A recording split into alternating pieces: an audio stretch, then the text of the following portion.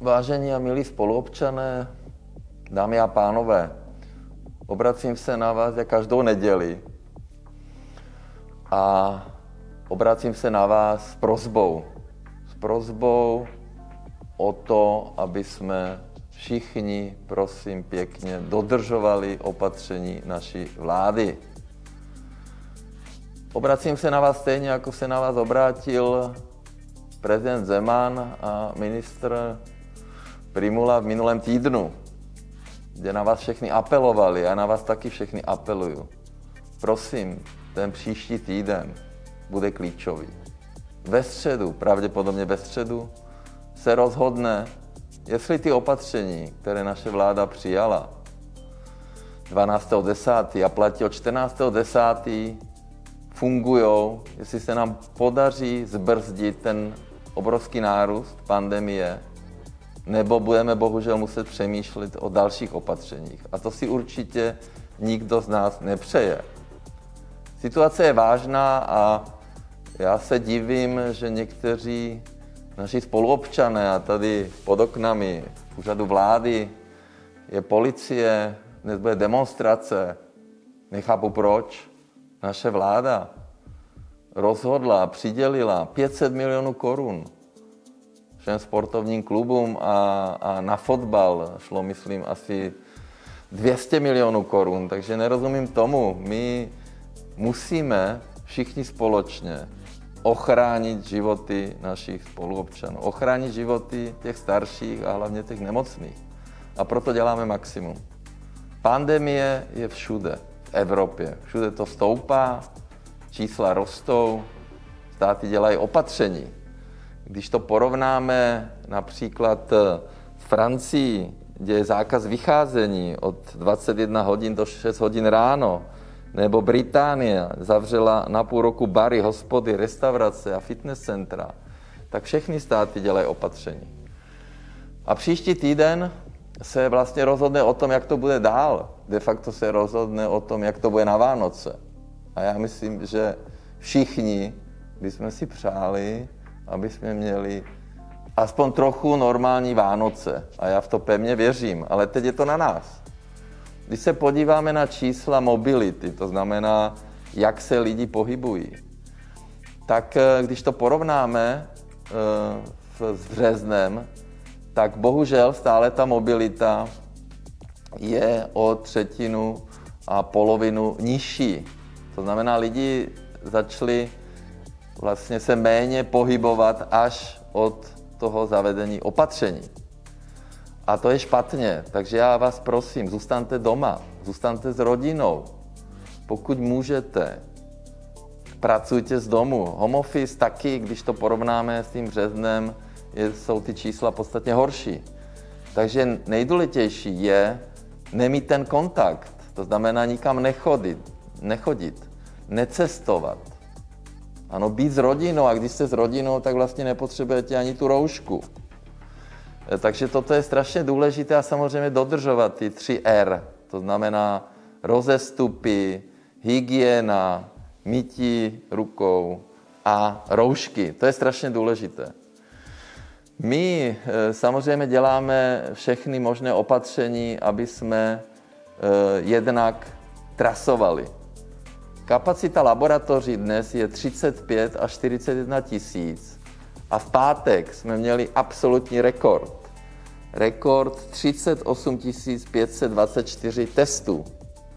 Ale ta pozitivita testů je často až 29%. To je obrovská nálož. Obrovská nálož a proto je velice důležité a my stále se snažíme, aby jsme trasovali. Já mám tady úplně čerstvou prezentaci od eh, integrovaného centrálního řídícího týmu, který skutečně pracuje dnem a nocí. A samozřejmě e, mám tady zprávy ohledně eurošky. Už máme milion 230 tisíc stažení, takže nárůst za týden o 580 tisíc, to je skvělé. Já všem děkuju. E, my samozřejmě tady realizují každý den tisíce telefonátů, takže nevzdávají to, trasuje se sebereportování bylo vyplněno už 10 379 formulářů. Takže to je taky skvělé a děkuji všem, že tuto možnost využíváte. Takže děkuji všem hygienikům, samozřejmě děkuji všem zdravotníkům, ty mají toho, toho nejvíc. Chtěl bych podpořit naši armádu. Zaznamenal jsem debaty ohledně rozpočtu. Naše armáda skutečně potřebuje moderní výbavu. A naše armáda nám vždycky pomohla. Kdy byly povodně, teď s chytrou karanténou, odběrné místa, zkrátka celý systém. A já chci poděkovat naší armádě, protože je pro nás strašně důležité. Tak já pevně věřím, že ty debaty ohledně naší armády eh, skončí a že armáda dostane ten rozpočet, který si zaslouží, protože my tu armádu skutečně potřebujeme. A teď to nejdůležitější, a to jsou samozřejmě kapacity eh, našeho zdravotního systému, našich nemocnic. Eh, já jsem se o to vždycky intenzivně zajímal. Ještě 10. září hlásil pan Dušek 4800 eh, lůžek, z toho tisíc eh, jípových lůžek. Dnes ta kapacita je už 11 500 a z toho 1500 je jípových lůžek. A to je strašně důležité, protože my budeme bojovat, budeme bojovat za každý život. Za, chceme ochránit každý život. Ano, to skutečně nemůžeme vzdát. A to je klíčové. My si nemůžeme dovolit kolaps našeho zdravotnictví. Já jsem i proto eh, minulý týden eh, kontaktoval eh, naše výrobce posteli, firmu Linet, a vláda rozhodla, že nakoupí 2000 postelí. Je to důležité, protože jak zjišťuju, tak v státních hmotných rezervách máme postele, ale ty jsou staré už až 30 let, co je samozřejmě špatně. V této chvíli máme v nemocnicích 3519 eh, hospitalizovaných osob, z toho 541 na jípkách. My e, připravujeme záložní kapacitu. Určitě jste o tom slyšeli v Letňanech, kde by mělo být 500 lůžek, respektive 490 e, a 10 ventilovaných lůžek. Připravuje to naše armáda a je to záložní. Doufejme, že to nebude potřeba a že to zvládneme bez těchto záložních kapacit. Eh, takže vláda rozhodla o nákupu postelí, o nákupu ventilátorů, připravujeme se na to. Já jsem samozřejmě i do zálohy mluvil s okolními státy, s premiéry a e, uvidíme, jak se to e, celé vyvine. A samozřejmě doufáme, že to zvládneme. To je to nejdůležitější. A e, my hlavně potřebujeme ochránit starší lidi a na to připraví ministr Primula speciální program, který představí v pondělí na vládě. Co se týká uh, opatření z ekonomických, tak já myslím, že jsme reagovali velice rychle už v pondělí, kdy jsme vyhlásili ty ekonomické opatření, které byly platná, nebo jsou platná od středy, tak uh, kolega Havlíček jednal celé úterý ze svazy, připravil podpůrné programy a už ve středu, kdy začala opatření platit, se vyhlásili programy na podporu restaurací, všech zavřených provozoven, podnikatelů v kultuře, ve sportu, zájezdové dopravě. Zavřeným provozom nám zaplatíme 100% mest a nájmu. E, takže si myslím, že jsme tady e, se poučili z té první vlny a jsme reagovali velice rychle. Paní ministrině Šilerová prosadila velký balíček daňových úlev pro zasažené podnikatele. Automaticky jim odkládáme všechny úhrady DPH, daně z příjmu a silniční daně mohou využít institut zpětného uplatnění daňové ztráty. E, pokud za rok 2020 očekávají daňovou ztrátu, může do výše odhadované ztráty požádat firma o vratku daně z příjmu, kterou zaplatil v letech 2018 a 2019 a do 15 dnů budou mít peníze zpět. Kompenzační bonus pro OSVČ a společníky SRO.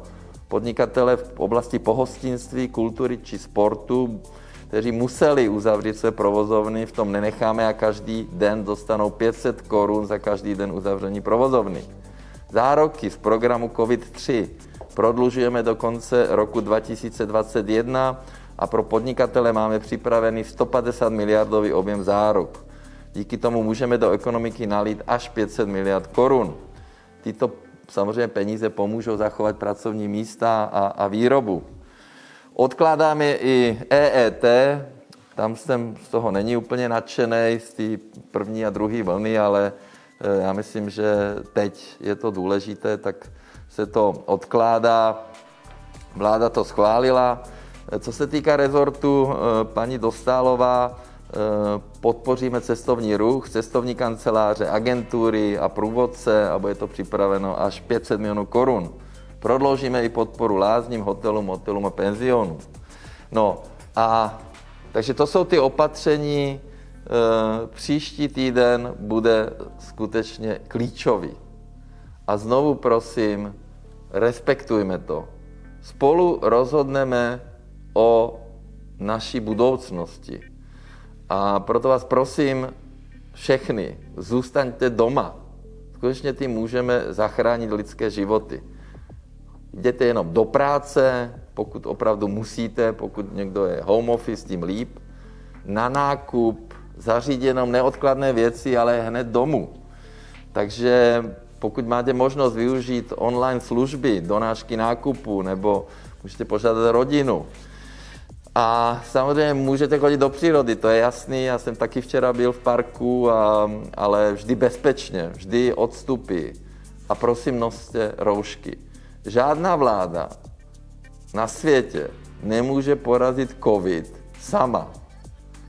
A tady je skvělý článek. COVID zastaví lidé svým chováním a ne stát pomocí represí, míní matematik René Levinsky. To je přesně ono.